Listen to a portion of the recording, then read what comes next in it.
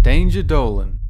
From insane genre mashups to equally insane celebrity vanity projects, we look at 15 trailers that were better than their movies. Number 15. Monuments Men is an interesting example of what to do when you have a film that can't quite decide what it wants to be. The answer, of course, is to just decide for yourself, even if that means the trailer is completely different from the finished product. The trailer pitches a fun Dirty Dozen style action comedy about the real life attempts of Allied troops to save crucial European artifacts like Napoleon's underwear. Not really, but it might as well be because according to the trailer, this is a light, fun film about war. Turns out, no, it's not. It's a confused film about war, like they wanted to make a comedy, then went, oh wait, it's war. We can't make too many jokes, so let's have some dark introspection thrown in there so everybody knows that war's bad. Ultimately, it's a muddled film that can't quite decide what it wants to be, but hey, at least the trailer knew what it wanted to be. Number 14. The Secret Life of Walter Mitty. Here's another film that struggled to get the tone right. It doesn't know if it wants to be a serious story about a man finding himself or a comedy about a man having crazy fantasies. The trailer is a visually stunning mix of the two. The balance between drama and comedy works great, and it looks to be a captivating movie about Walter Mitty's secret life.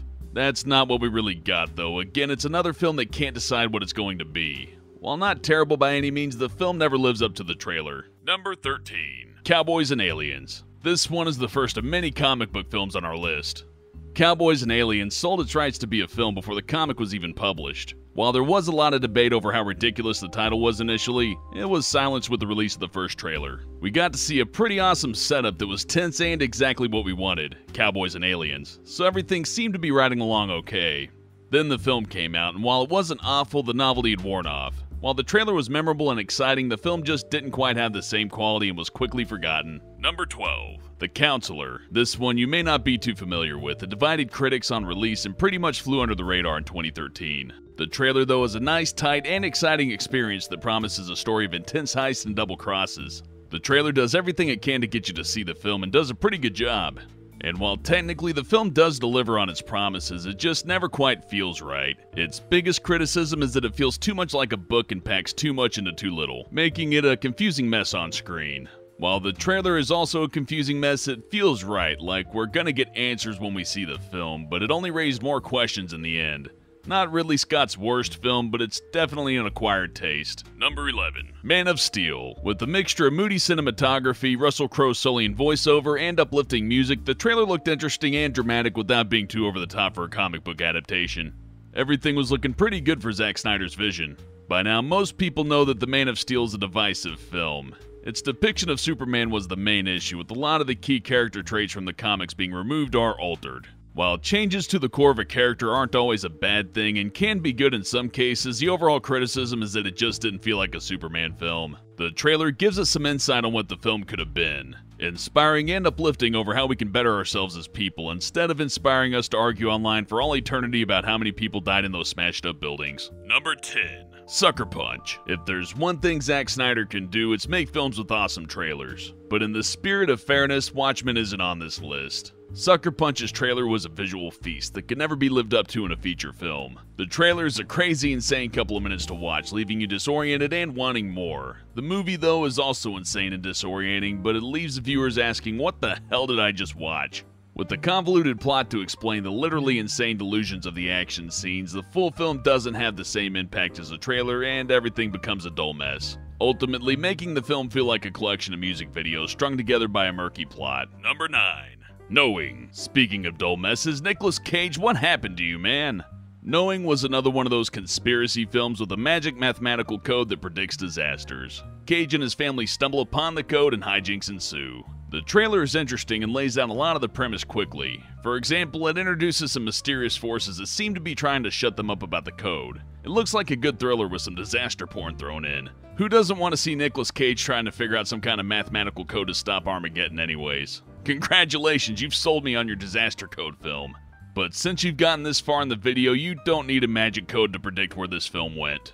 To put it simply, it's a mess. It introduces aliens and the end of the world, which starts to really push it into silly places that it didn't need to go. Which would actually be a good thing, but Nicolas Cage doesn't get to go into maximum cage mode, and it just becomes a disappointing experience overall. At least the Wicker Man humorously played to Cage's strengths, even if it wasn't intentional. Number 8. After Earth. Shyamalan strikes again. This time with a sci fi film with Will Smith and Junior Smith crashing on an abandoned Earth where animals have evolved to be the ultimate killing machines. The trailer for this one might be the worst on the list, but it does strike some hope that this could have been a good film. A decent Shyamalan film in 2013? I don't know about this trailer, but okay, maybe? No. The trailer is a damn liar, and a lot of us fell for its charm. Surprisingly, After Earth had some strong box office returns on the first day of its opening weekend, but all the people who did see it quickly took to social media to get the word out about how terrible the film actually is. After that, the box office took a steep dive on its second day, never to recover, but it speaks volumes about how skilled the trailer editors are.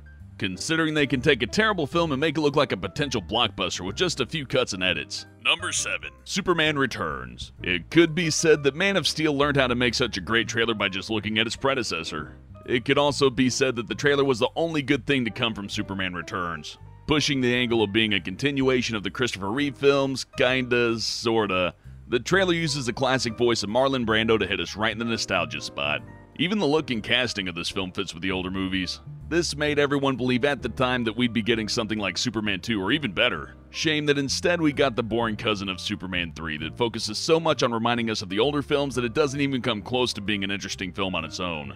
To be fair, it does try sometimes.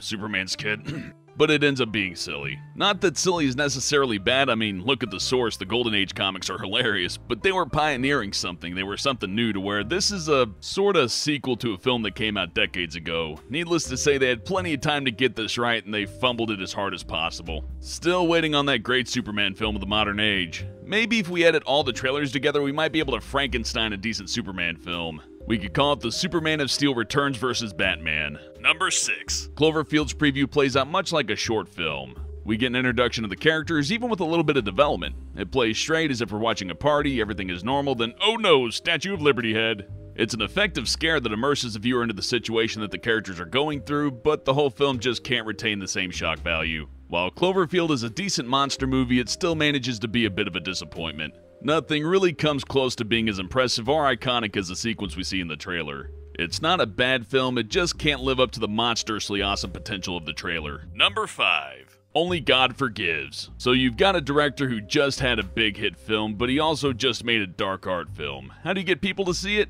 Pretend it's Drive 2 and bam, sold. The trailer for this movie plays out like a dark crime thriller with atmospheric neon lighting and blood soaked violence, much like the director's last film, Drive. For obvious reasons, this got a lot of fans of the movie Drive pumped up.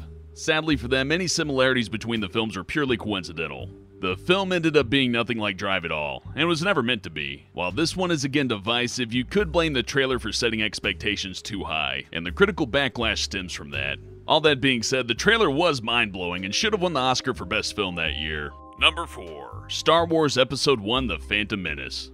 This is something we can only hope to Yoda doesn't happen again with the new trilogy. Episode 1 has an amazing trailer that, like the Force Awakens trailer, was met with praise and squeeze from fans around the world. Of course, we all know how this one turned out. All of those awesome images from the trailer, put into context of the whole film, turned out to be a horrible letdown that'll continue to haunt the Star Wars franchise. This is a case that serves as a warning that even though a trailer is awesome, we should always be mindful that it could be the master workings of a Sith. Let's just hope history doesn't repeat itself with episode 7. Number 3. Spider Man 3. So much hype for this film. How could it go wrong? The trailer for the third Spider Man installment looked amazing, with the symbiote making an appearance and the Sandman looking great. The character arc set in the first film coming to a peak and not a trace of Venom to be seen. To say that Venom's the problem with Spider Man 3 is a little bit unfair. The trailer also doesn't show Emo Parker either, nor does it show all that interesting character stuff that's more rushed and hollow than it was during the first three minutes we watched. Spider Man 3, as shown in the trailers, would have been the crowning achievement of the Raimi films, but instead we got burned again by some clever advertising for a terrible product. Number 2. Battle Los Angeles? You might not remember this one, which is its main problem, being completely forgettable. Remember when LA was invaded by aliens? I sure don't, because I can't remember how this film played out. I do remember the trailer though, and that was pretty unsettling. Using real life UFO accounts from around the world, the film comes to the present with hundreds of people being murdered on the beach by alien sky laser explosion things. Then there's a bunch of soldiers versus alien stuff. It's all pretty entertaining, and the real UFO accounts add for a fair amount of tension. But the film itself lacked all this and became a mess of urban extraterrestrial warfare, I think. I don't really remember. Number 1 The Last Airbender. The first teaser trailer for this was epic. Absolutely fantastic in getting the basic premise of the film down without giving out too much, and being equally awesome in pumping people up unfamiliar with the series. Of course, none of the epicness translated into the final film, and Shyamalan, you've done it again. I'm starting to suspect that his whole strategy is not to make good films at all, just good trailers to get people to come in on opening day. But evidently, I'm not the only one catching on to M. Night's tricks, because no one else came in to see this film either. what a twist. The trailer really does capture the spirit of the cartoon, and it is just the Avatar blowing out candles with his wind powers, but damn, it's impressive. This actually makes what we got so much more painful to sit through, knowing that someone had the right idea somewhere. That's it for this countdown. And have a good one!